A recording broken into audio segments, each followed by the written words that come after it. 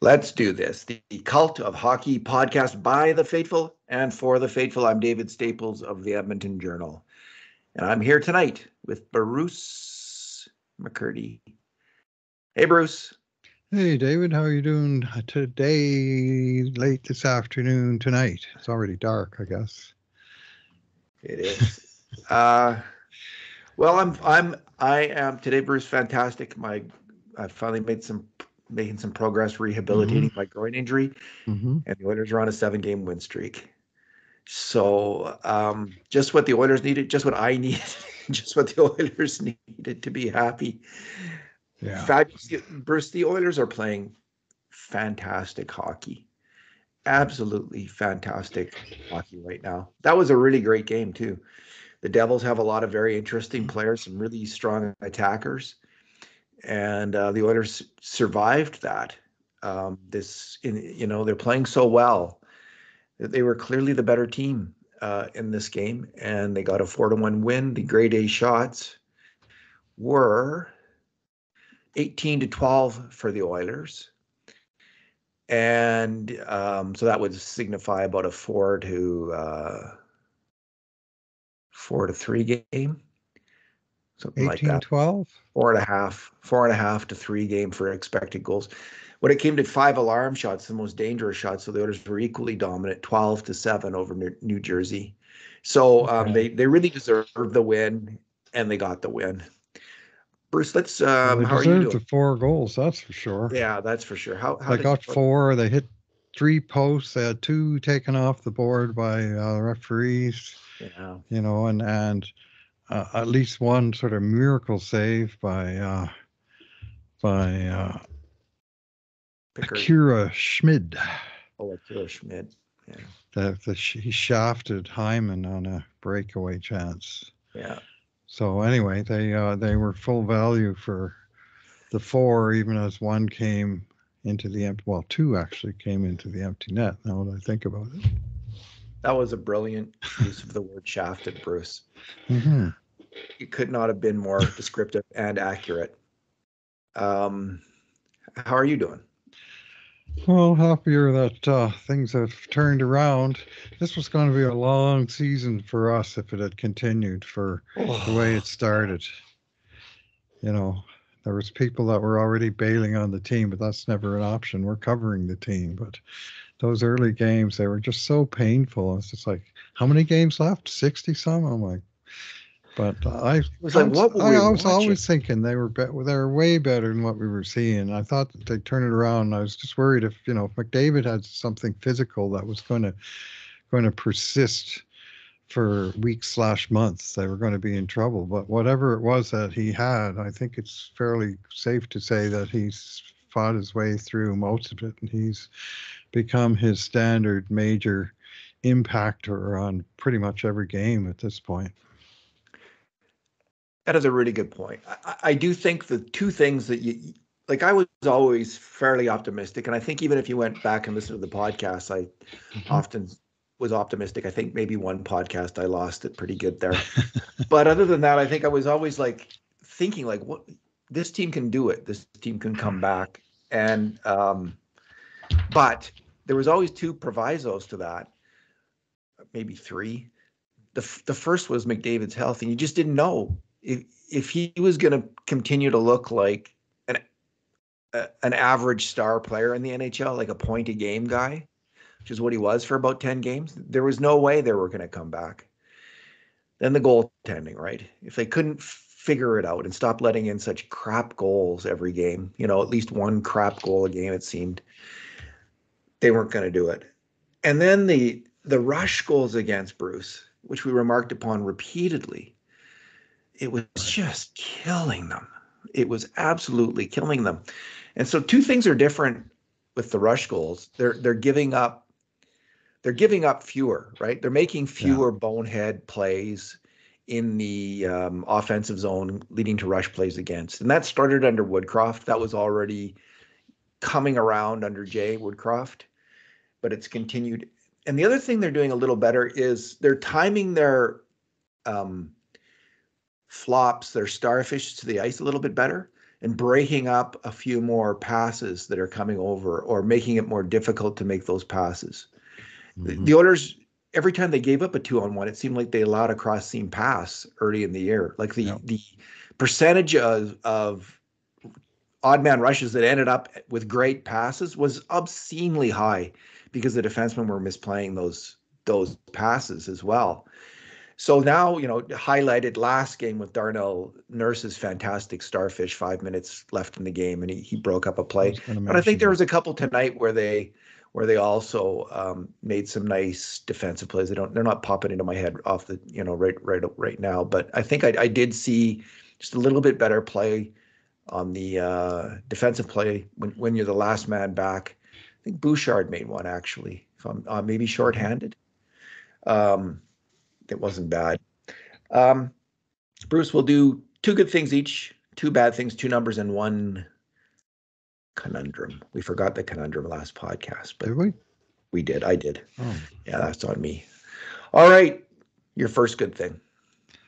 Okay. Uh, well, I'll go with the obvious uh, goalie Calvin Pickard, who uh, drew into the lineup with a fair bit of pressure on him. I mean, he, the last two games that he played, the only two games that he played were both losses by the Oilers, their last two losses.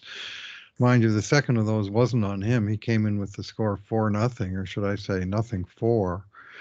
Uh, 15 minutes into the first period, and he held Carolina to just one goal uh, and an empty netter in a what became a 6-3 loss. Uh, but then he basically been wearing the ball cap since while Skinner was peeling off one win after another. And Pickard gets a shot today, and I, I thought they might wait till Chicago, but the more I thought about it on the weekend, I thought sooner is better. Uh, Stu looked a little bit sluggish last game, and uh, uh, it was the right choice. But man, the pressure was on. I mean, if he comes in today and he, you know, he lets in a couple of softies and they lose that game four three, you know, then where are we?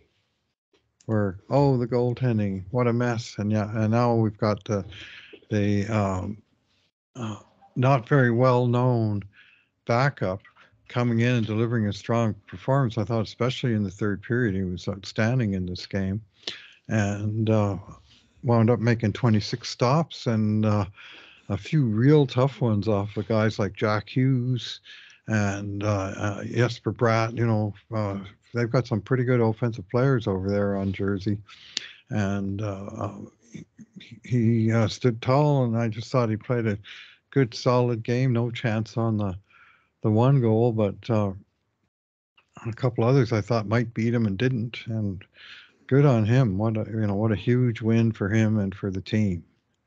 And at minimum, he's earned himself now another start, a couple starts, and can t- a little bit take the heat off of the uh, Jack Campbell rehabilitation tour down there in Bakersfield. And say, Jack, you know, you got a couple more starts, Jack, until I'm thinking Christmas before they even have to think about doing anything different than than right now. Because Pickard maybe gets two more starts between now and then. Oh yeah. Listen, Jack Campbell's just not getting it done. Another, I've stopped. I just don't even want to pay attention. Like I just want him to to do whatever he's going to do. Just I just feel like the I thought he was going to get down to Bakersfield, you know, he get some quiet and just get his game together. We're all just watching him like a hawk. I don't think it helps in a way. Like I don't know if he's paying any attention to it. Maybe he's not. Maybe it has no impact at all. But I just I just want to not talk about it, not comment. Whatever happens in there, it's at the point where they should be playing probably Olivier Rodrigue. They'll they'll figure it out. Mm-hmm. Because and but this just exclamation mark on the fact, hey, this Pickard guy, um, maybe doesn't, maybe they don't need to do anything. It's possibilities. So Bruce, New Jersey, I just worked out their expected goals according to our numbers, and they they had an expected goals of 3.5 goals today. That's wow. how many you would expect them in the quality of their mm-hmm. shots, and they got one. So that's a hell of a game from Calvin Pickard. And it's interesting, you know, when you look at his record since 2017 18 in the NHL in a, just a very small number of games. It's atrocious. He's been, a, you know, he's been around 857 save percentage, 863, 892, 797, 874, 875. This is all in very small numbers of games, like five, six, five, six each season. But it's just been season after season when he's gotten an NHL chance, he's been poor. But in his in the last two AHL seasons, um, he, he he's kind of become again the goalie that people thought he might be earlier in his career because he really had a good you know between 2014 and 15 and um, 2017 18 i guess really he looked like a fairly promising goalie. And uh, so the last two years he with grand rapids 43 games he had a 918 save percentage in the hl and then last year in bakersfield he had a 912 save percentage in 38 games so those are two solid AHL seasons. And then earlier this year, in just four games, he had a 939 save percentage in the AHL. And that, this year in the NHL, three games and a 918 save percentage. So who knows? Maybe this is a, a, a late bloomer, Bruce. It's been it's happened with goalies. And you don't want to I don't want to get ahead of myself. This was his best he's probably looked in and felt for himself in years he should relish that. But that was he. He does look fairly solid in the net. In fact, I wasn't paying too close attention to it. I was just kind of, and I didn't. I thought it was Skinner in net initially. Um, yeah. in the first period, I wasn't. I didn't. I didn't watch the pregame stuff. I just tuned in. And I was catching up to the game. I tuned in a minute or two late and was catching up because he looked the same. He's the same kind of goalie. Very solid, square to the puck on the shots. And, you know, I don't think you can count on him or Skinner to make acrobatic saves. That's not their game. But if if you're just asking them to make the first big save, it, it looks like at this point both of them can do that, and then it's up to the Oilers to take care of the rest. And um, maybe that's the key for the Edmonton Oilers is yeah, you're going to allow some great shots, but if you don't allow that great second shot or that great pass across for the wicked one timer, that's how you're going to win. Get some good goaltending. Got some today. They did. All right. Uh, my good thing, Bruce. I'm going to go with the three wise men line, and I call the line of Sam Gagner, James Hamblin, and Derek Ryan that the three wise men because they're you know they're not very big, they're not particularly fast. Maybe Hamblin's fairly fast, uh, they're not particularly fast. They're not particularly ferocious. But do they ever have high hockey IQ? They have high, high, high hockey IQ. And I was just telling you before the pod, I never expected to say that about Sam Gagner in his NHL career. Mm-hmm. He he was a he was a terrible defensive center with the Edmonton Oilers when he was first here. He was constantly puck watching on the wrong side of the play, on the wrong side of the puck, getting beat repeatedly because he wanted to be an offensive attacker and cheat for the cheat for offense. And that's gone. He's not that player anymore. He is responsible defensively. Derek Ryan is is the most responsible forward on the Edmonton Oilers. He's always thinking out there. Hamblin seems to be a bit of a clone of Ryan. He's just smart. He's in the right place at the right time defensively and he chips in a bit offensively. And for a fourth line player, what else can you want? Now, there's going to be some people, and this is going to come up. The three wise men line isn't likely to last because people are going to want size and ferocity on that line, probably. But if they keep playing like size. this, Bruce, uh, not a lot of size. So, but if they keep playing like this, these guys might be able to stick together. And they sure made a big play this game. Um, it was a uh, it was a face-off win by Hamblin that kicks it all off. Um, a little bit later, the puck goes to Kulak at the point, who makes a really nice play, putting it deep to Gagner behind the net. Gagner chips it out to Ryan in the slot, who just pounds it in, and it's the first goal of the game. It's a period that the Oilers have, I think, outplayed the Devils and got the better of the chances, although both teams had chances. But it was just great for that to be rewarded with a goal by that line. They had another uh, few chances Hamblin, uh, I think he missed the net completely. He had kind of a wide open. Oh, that's right. He got a pass over from Gagner on a on a very fine rush by that Three-way line. Play, yeah. Three-way play, and he was unable to cash in, which he just handcuffed him a little bit as the pass was coming over. I thought it was going to go in, but he just couldn't get his stick on it. And then late in the game, it was um, Hamblin who went behind the net, uh, won the puck, passed it out to Gagner in the slot and Gagner put a really dangerous shot on net with just about uh, three minutes left in the game. but the thing that defines this line isn't their offensive play; it's the fact that you can send them out there, Bruce, and they're not going to give up much, if anything, on defense. Even though they're not the biggest guys, they're in the right position. And when they get the puck on their stick, they make they just take that. And this is what defined the Oilers in this game, I thought.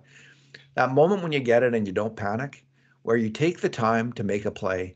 You just take that extra second to make a little move or just wait for the play to shift a little bit for the players to change position. And that's when you make the pass. And um, you know, we saw that. Uh, just another example, not these three guys, but Leon Draisaitl in the power play, setting up Evan Bouchard. He just he just held the puck very, very, very smartly. If he had, there was a moment where he could have tried to force that pass or or kind of lofted it a bit, but it might have been knocked out of the air.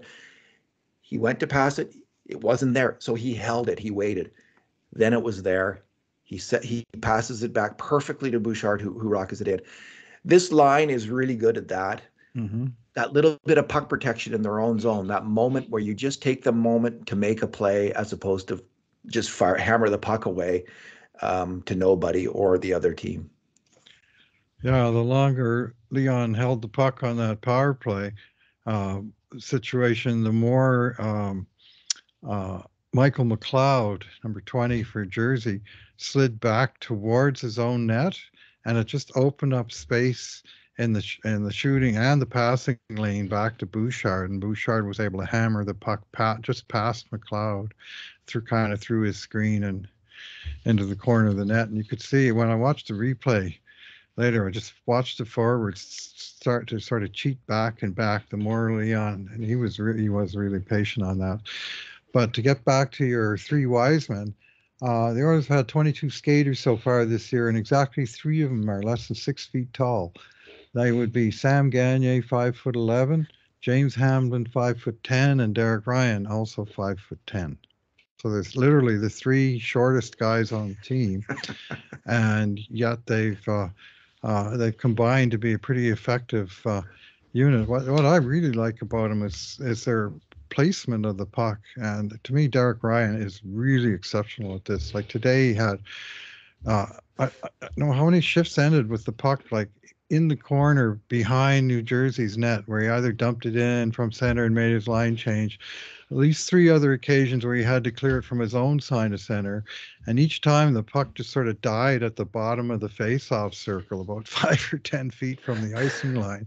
Just perfect draw weight over and over again and he just does not leave the puck in bad spots. And Gagner was doing, you know, much of that same kind of thing today, just making safe plays and getting the puck to safe places where, you know, maybe they're going to have to battle to keep the puck, but what they're not going to do is have some jailbreak going the other way because some forward has passed the puck behind the other forwards, and all of a sudden the other team is flying out of there, you know, and and it's uh, uh, it's uh, it's good good to see for you know your fourth line. You want at, at minimum you want no problems, and I believe today they probably were all plus one, were they? Ryan plus one. Yeah. Gagner plus one, Hamblin plus one. It was all on that goal because they gave up nothing. Yeah. I don't know if I've ever liked Sam Gagner more as a player. I like him as because, a winger more in the center, eh? Yeah. He, well, he should have always been on the wing like Nuge, right? Like um like uh, Yeah. And um you know, you got to try though. When he first came in the league, Bruce, Sam Gagner, when he was 18 years old, he looked like he might be the next Joe Sakic, right? He had this unbelievable, he had great offensive talent and he could really fire the puck and he could, he really had a great offensive sense for passing the puck. And you decide if he continues to, if this guy develops with this kind of mm-hmm. offensive skill, yeah but it just wasn't really it just wasn't elite enough on the attack um, to rise to that level. And then his defense was just it wasn't there. His second incarnation with the Oilers, I thought he provided a lot of energy. He was uh, quite a good energy player. He was good on the attack. He was okayish on defense. This time he's just really I just see a player really committed to doing the right thing on the ice and being super smart because that's how he's going to survive in the NHL and he's doing it. So I give him real credit. And Hamblin, can figure this out and play like these two guys, learn from these two guys, and and mimic their play. And so far, he's doing it. Well, the Oilers might have a real find there because um, that kind of player has a way of helping a team win. What's your second good thing, Bruce? Yeah, uh, I think I'll have to single out again uh, the penalty kill, who Yeah. uh, had another, uh, you know, O for performance or all for, I guess, from their perspective, because uh, Jersey had four power play opportunities and they came away with no goals on uh, on six shots. There was uh, the last power play was the most dangerous of the four. They generated some good chances. That was the one where Connor Brown, Connor, Mr. Unlucky Brown, got a penalty for not touching the guy that fell down in his vicinity. This after getting his what seemed to be his first goal wiped off the boards for uh, goaltender interference. which was the Uh, right call. It was the, that was the right it call. the right the call. other one No, wasn't the right call yeah, because the re- the referee didn't even know where the puck was. He, char- he called the He was in the for stu- stuffing the puck out of the out of the goalie's pad, and it wasn't in the goalie's pad. It was in the Yeah. other corner of the net, and the guy they wound up bobbling it into their own net. And Mr. Referee was so sure that he, he was right that he didn't even frickin' look at the replay. I'm sure of it because the replay was pretty plain to see that no, the puck is actually over there. Anyway, What- Bruce, could Uh, he? Could he? Just wait a second. Could he look at the replay? Because because his Well, wasn't his call look at the was that he was. Oh, they did. Wasn't his Yeah. call that he was going to blow the whistle? That his intention was to blow the whistle. So as soon as that happens, no matter what the replay shows, it I don't think it matters. Like honestly, Well, uh, you'd have to ask him, except for guess what? You're not ever going to get the chance because the referee wraps those guys up in uh, Well, bubble be wrap. rule. Like I'm not. It doesn't matter what he would say because I I think the rule is Mhm. if the any if the referee's intention is to blow the whistle, he can't take that back, even if he hasn't Mhm. blown it. If that's what was in his head and that's what he's saying, then it's over.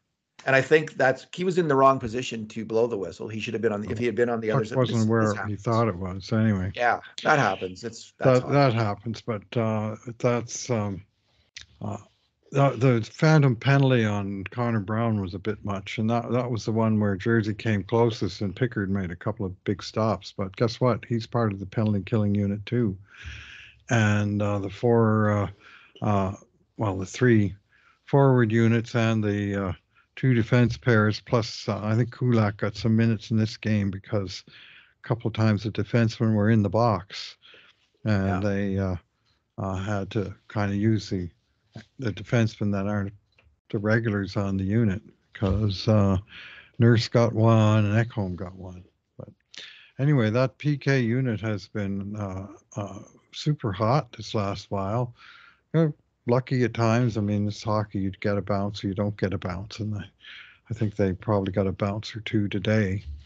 But uh, they they got the job done uh, yet again, four for four. And uh, this was a game where a power play goal against would have uh, uh, made it a lot tenser. Indeed, because it was a tense game right to the end. Uh, Bruce, my my um, second good thing will be Mattias Ekholm, Hmm. who was part who was part of the regular penalty killing unit. They they were all all the defensemen did a really fine job on the PK. They were all pretty good. Um, but I was really impressed just with Ekholm's movement of the puck. He made um, four major contributions to grade A shots, which for a defenseman not named Evan Bouchard is a really, really great total. For Evan Bouchard, it's another day at the office. Um, he he's really skating well. He's moving the puck well. He's playing like he did last year. And again, his turnaround due to injury, it, took a while. It took about 10, 15 games. And he's really coming around in the last five games. He's looking like his old self. He was just moving the puck exceptionally well. And I can't I mean, I don't remember specifically the any of the grade A pat like the um, passes that he made for great A shots, except for the one that ended up as a as a goal. And um, that's the one where uh, it's in the owner's end. He he wins the puck and he whips it up the ice to Hyman, who just barely misses it, and Hyman goes in and um, wins it on the forecheck ag- against the, Akira Schmid. He, he should Mhm. stay in the net. He's like uh, Jacob Markstrom, just stay in the net. And he got tied up with uh, Hyman and and Kane put it up front, and then McDavid jammed it in. But that was just a really heads another heads up passing play um, by Kane, and I think uh, it would be interesting for us to measure stretch passes since Coffey because we actually track that. I'll have to take a look at the stretch passes leading to go involved in um, grade A shots before and after Paul Coffey took over the defense. But what you, I think, what we're noticing is that the the defensemen are are now as soon as they get the puck or before because you have to do this before the you get the puck or you're not going to make it. Generally speaking, is pucks on your stick, bam, the stretch passes there. And uh, we saw an excellent example of that uh, eight minutes into the game when Darnell Nurse um, got the puck. Connor Brown won the puck behind the net and he put it over to Nurse. And Nurse just fired a great pass up to Leon Draisaitl at the blue line. And Leon made an absolutely fantastic backhand pass to set up a Evander Kane, who almost scored and was fouled on the play. So um, Ekholm is doing it. Nurse is doing it. Of course, Evan Bouchard's been doing it from the from the start of the year. You have these big guys, Ekholm and Nurse, who who I don't I don't really want to see them honestly transport the puck, but I too much. But uh, when they get there, when Darnell Nurse gets his eyes up, he can really rip those passes, and so can Mattias Ekholm. And uh, we're that's what we're seeing game in game out right now. You know, two of four of Ekholm's um, contributions were in fact stretch passes. Yeah. In in this game, uh, and one was a pretty good shot that he got where McDavid set him up and he came up with a left wing circle and he fired a shot that uh, Schmid just got his blocker. Oh, I remember it now. On yeah. short side. That's right. And yeah. that was that was a good play. And with both him and Nurse, like you're right about the the passing. And I don't mind when either guy materializes occasionally in the slot. You know, it just sort of pops up as an extra option in, in, yeah. the, in the slot. And even if they not necessarily a huge threat to score themselves, they, you know, when they flood the zone like that, that creates problems for the defense and a little chaos. And sometimes it'll open something up for somebody else, and once in a while they will pop one in. You know. It's interesting. The defense seems to be both more active actually there's a here's the difference they seem to be more active moving into the play to score not quite as active on the boards on the pinch mm-hmm. um mm-hmm. would yeah. be what i would say but mm-hmm. even though they're more active moving in to try to score they're not giving up generally speaking um those two on ones although there was one three on one early in the game where nurse moved up into the play and leon made a fairly risky pass uh, back, and it, it and it was a, like the Oilers had like a four on two at that point, and it, mm-hmm. the the pass didn't make it, and it was a three on one, and um, Jesper Bratt went in there on the three on one and almost scored, and then Nurse, who had been who had charged in the play, came back and oh. stopped the goal against with a great defense, the defensive play of the game. All right, let's move on to our bad things. What's your bad thing? Yeah, well, I'm going to surprise you. It's going to be the goal by New Jersey and it happened within uh, what do we got now? Uh, 20, 30 seconds after Edmonton made it three nothing, and it was it's one of those games where you know it was two nothing, and it, in some ways it felt like it should be more, but I was never sort of comfortable within this game because Jersey's yeah. got a lot of talent. And they they sure seem to have a lot of zone time, and they made it three nothing and um, the next shift comes over the boards. And you know this is something i talk about often on this podcast because it happens often. After the Oilers score they fall asleep and they did it again and it's like three nothing. I'm just going okay boys this is a you know a nice rotation every line one shift and you know and we're in good shape. Very next shift uh, Pickard grab there, there's some chaos and Pickard snags the puck out of the air and gets a whistle. I think good, calm things down, calm things down. So they get the face off in the D zone, and there's like the puck comes up to Kane on the sideboards, and the Oilers are breaking out. Draisaitl's tearing up the middle of the ice, and Kane tries an aerial pass right through the middle of the ice uh, Mrs. Uh, Brown, I guess it would have been the guy who was trying to hit with the pass. And it goes like two feet over Brown's stick and down onto a New Jersey stick. And now and they come flying over the blue line. And, and Draisaitl is coming back from a long ways back. And as the Devils come in, they set up the play they want. And there's a cross ice pass. And There's really no Oiler in position really that he wants to be, and Bratt slams it into the net just like that. The three goal lead is gone now. It's still it's two goal lead like before. Plus now New Jersey's got some momentum and they're bringing it on. So the penalty kill right after that was huge. And it easily could have got to 3 2 with like 14 minutes left. But that just that that momentary uh, oh, game's in the bag now. We can relax a bit. And this is the NHL. It's not in the bag. And, Evander Kane and, and Leon Draisaitl are brilliant attackers. They mm-hmm. are they are high risk uh, defenders, and this is an example of Kane, especially on this play. Mm-hmm. You know, where he makes the high risk um, pass, and then he he does get back, and he's trying to make the play, but he he stumbles around, and he's unable to cut out the pass across. Leon, it's a three. You got a three nothing lead. Leon mm-hmm. was leading the attack, but he had lots of time to get back and hustle back. And he, he was just a little slow getting back, so he doesn't cut out the pass. And these so these two guys, and so this leads into to my bad thing, Bruce. I think these are fantastic hockey players. But if, if you're protecting a lead late in the game, I and this has been every Oilers coach who has done this. And maybe in the long run, this is the right move, and I'll get into why why that that might be the case, but I've never liked this putting out Connor McDavid, Evander Kane, and Leon Draisaitl when you're protecting a lead and there's an empty net. First of all, there's an empty net, and when an offensive player, I don't care who it is, without exception, almost maybe Jacques Lemaire or something like without it, they just they just want to score. They want to get that point, and they're thinking point, point, point, and Kane and Draisaitl and, McDavid to a lesser extent are also zeroed in, laser focused on the puck.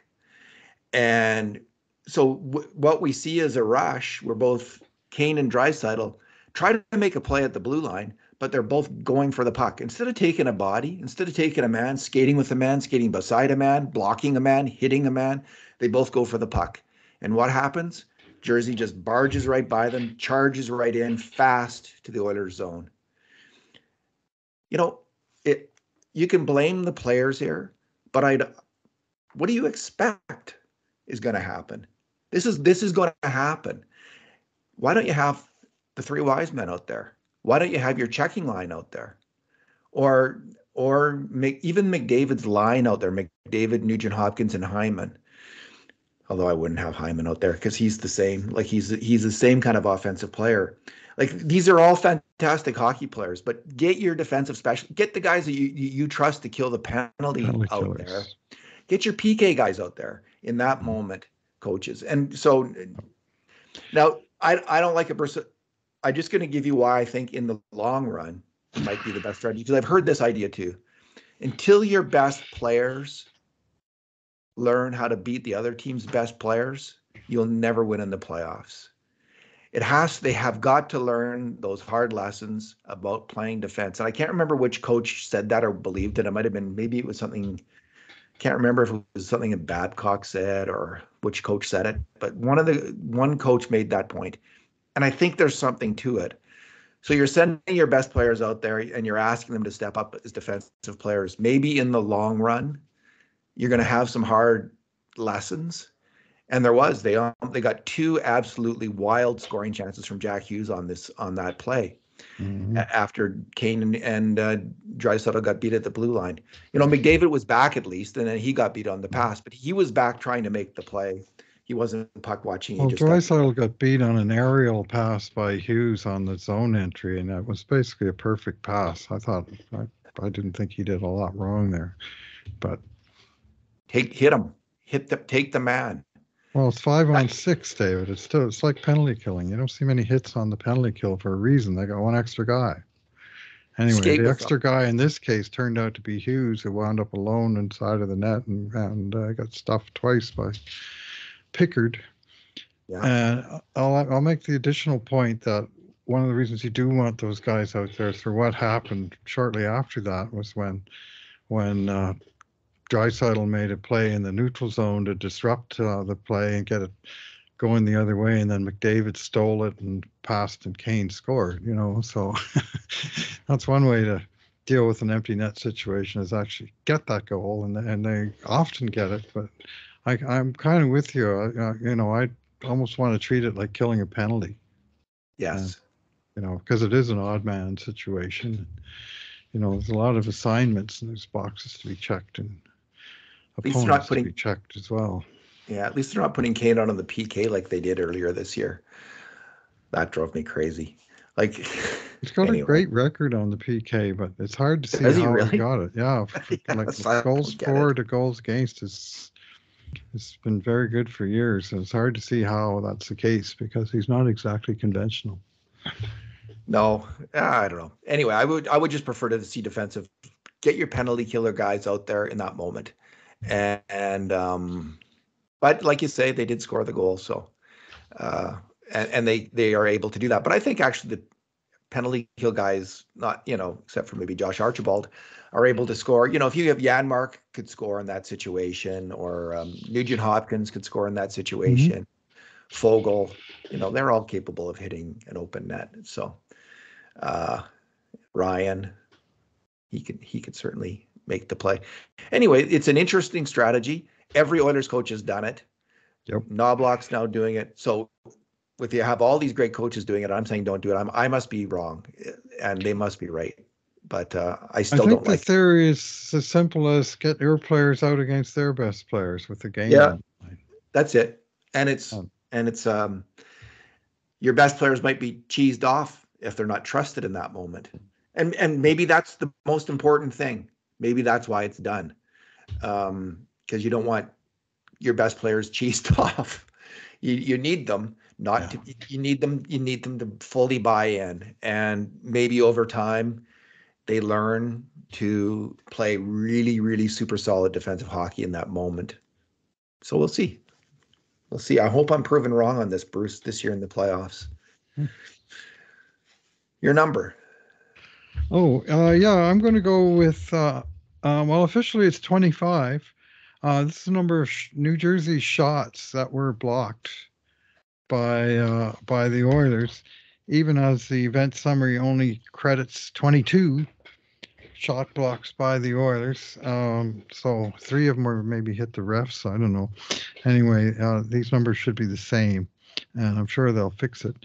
Uh, but especially the defense, uh, seven block shots for Darnell Nurse and actually eight Wow. for the national stat tracks trick. So that's uh, six for uh, Vincent Desharnais. And every defenseman uh, with at least a couple of, uh, or well, at least a block shot were, were contributing in this uh, department. And I mean, New Jersey only had 27 shots on net. And so Pickard made 26 saves and the, the team blocked 25 shots. So that's a, a fairly reasonable team commitment to defense. Again, I wasn't fully happy with the third period. On the other hand, one of my good things are the goalie and the penalty kill, and my number is the number of blocked shots. Maybe I have to say I'm fairly happy with the defensive effort overall. Bruce, my numbers are related to Coach K's record with the Oilers here. And um, it's I'm going to be comparing um, how the Oilers did um, are doing right now in the 12 games that he's coached, not to um, the start of the year with um, uh, the 13 games with uh, Woodcroft, because I think that's a, in some ways an unfair comparison, in that there were so many injuries then um, that it's it's hard to compare the two units. But I will compare them to, and and I, it would be probably fairest to pick the the hottest 12 game streak under Woodcroft, but I haven't identified that yet. Maybe I will. But if if you are imagining that this version of the Oilers under Coach Knoblauch is the best version of the Oilers you've ever seen, you might in the McDavid era, you might be right. Is what I'm going to suggest. This is an utterly dominant team right now and um, so the numbers I'll compare it to are the best stretch, season-long stretch for the Oilers were under Woodcroft was um, was last season, and um, their grade A shot differential was positive 2.9 per game, 2.9 per game. In this under under Knoblauch, it's plus five per game. The five alarm shots for uh, Woodcroft in that in that really good season, uh, and the Oilers were plus 1.7. Under Knoblauch, it's plus 2.6 for the five alarm shots. And the goal differential for that whole season was plus 0.9 for the Oilers that year. And in this stretch, for it's plus 1.5 goals a game with Coach K in these 12 games. So this is just, it's little wonder that they're beating so many good teams right now. They are playing their they're playing the lights out. They are just playing fantastic hockey. And again, the, a more fair comparison would be to find the best stretch under Woodcroft, which I probably will try to find later tonight or something like I that. But suggest you look in the 18 2 and 1 roll that they went on post Ekholm trade last year. You'll find it Yeah. Yeah, you're probably right, Bruce. Have a look. I'll look at those games and see how that compares and see. But this is um, this looks about the same as that, doesn't it? Like they were super dominant. That's why we that's why everyone was predicting. Well, not everyone. M- Many many people were predicting Oilers would win the Stanley Cup after the Ekholm trade, based on their play in that run because they were just dominant, and then they just Mhm. couldn't keep that up in the playoffs against better competition um, for one reason. But anyway, they're back. They're they are completely back, and it's not surprising they've won seven games in a row because they deserve to have won seven games in a row. They're they've been the better team, I think, in all those games. I haven't, um, and certainly the better team tonight. Yeah, well, 12 12 and 1 sounds a lot better than 5 12 and 1 now, doesn't it? And I- lots of folks are ready to write off the season, but boy, they righted the ship in a in a in a quick hurry. I thought it was going to take a lot longer than this to get back to you know 500. Yeah, I I thought so too. I thought it was going to take like two and a half months to get back. Like no, they're still not actually back in a playoff Right. spot. Right. Um, so he's been here a month, I guess. And um, let's just see what the standings are now, Bruce. Have uh, many other teams. Yeah, they're three points out of uh, uh, the last wild card spot with two games in hand on Nashville. Okay. and they're uh, three shots points out of the first wild card spot with one game in hand on Arizona, and then St. Louis is ahead of them by two points, but Oilers got two games in hand with them, and they're tied with Calgary, but Oilers have two games in hand on them. So you know when you when you fold in the games in hand, they're right there. Boy, the Kraken sure have cracked. Mhm. 28 games, eight wins. Wow. lost seven in a row. minus 24 goal differential. The Oilers now have a plus four goal differential.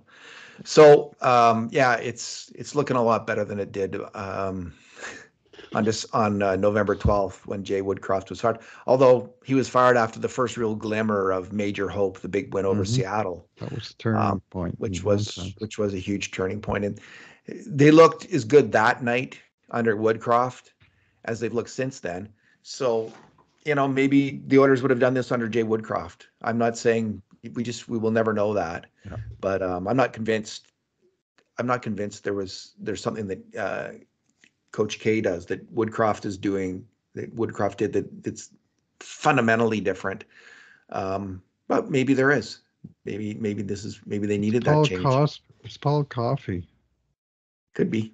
whispering into their ears to remind them how good they are and give them all the positive reinforcement.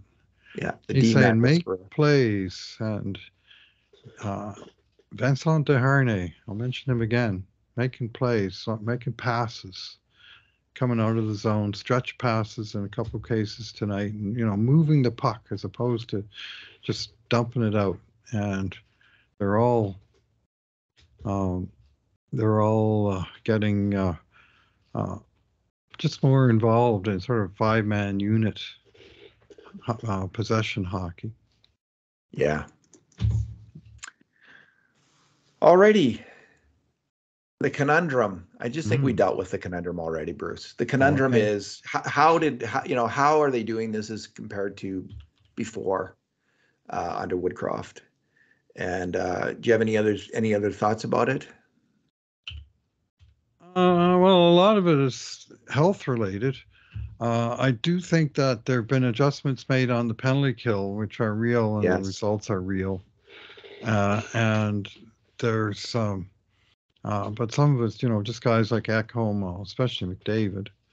Uh, but uh, Ekholm and uh, uh, as a uh, key player, but I think they had a couple other guys. Like there was lots of chat that Leon was maybe playing under 100%.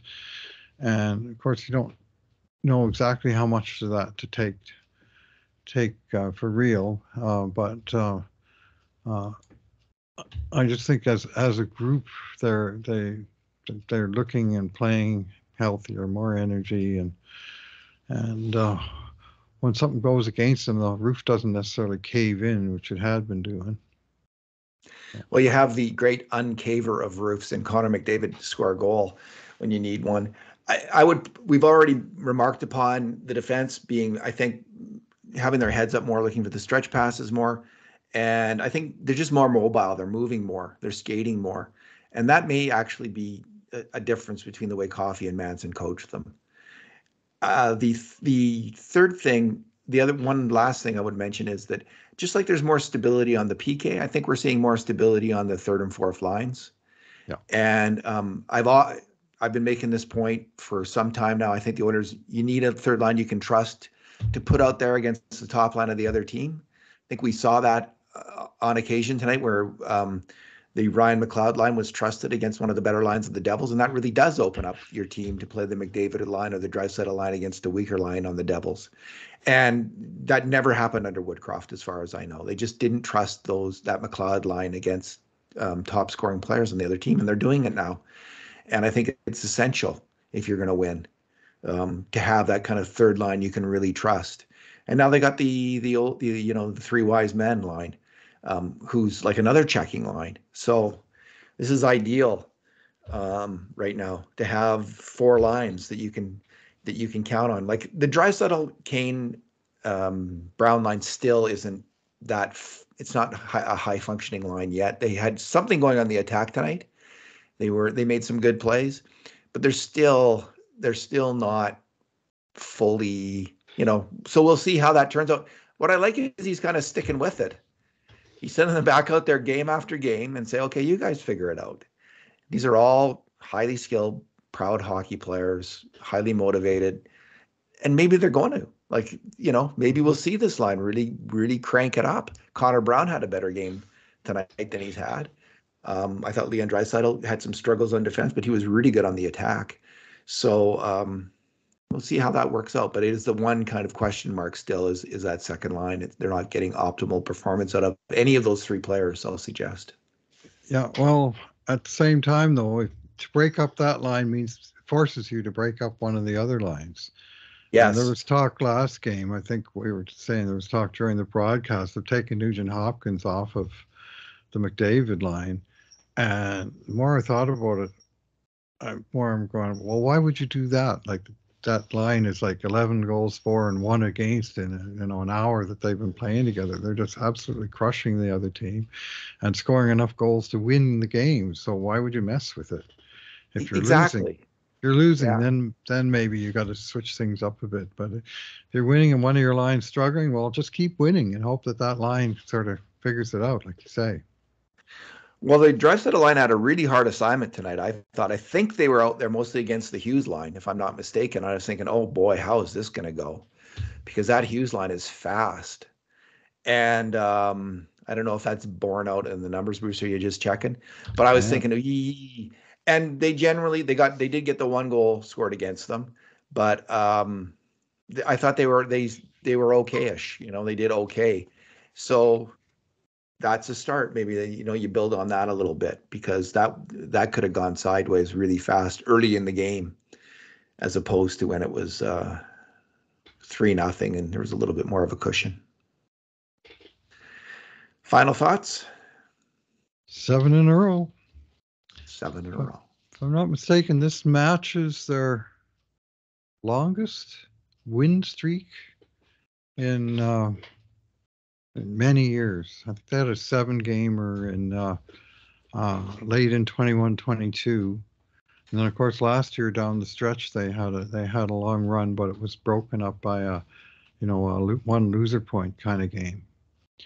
But they uh, uh, they needed a big winning streak and they delivered it right away. You know when that once they turned the corner, they've turned it. So it's full speed ahead. Well, as you say, Bruce, never in doubt. Never mm-hmm. in doubt. Never in doubt. We never doubted them once. No, I don't. I'm pretty sure about that. Bruce, thanks for talking tonight. Thanks for listening, everyone. And in the meantime, and in between times, this has been another edition of the Cult of Hockey podcast.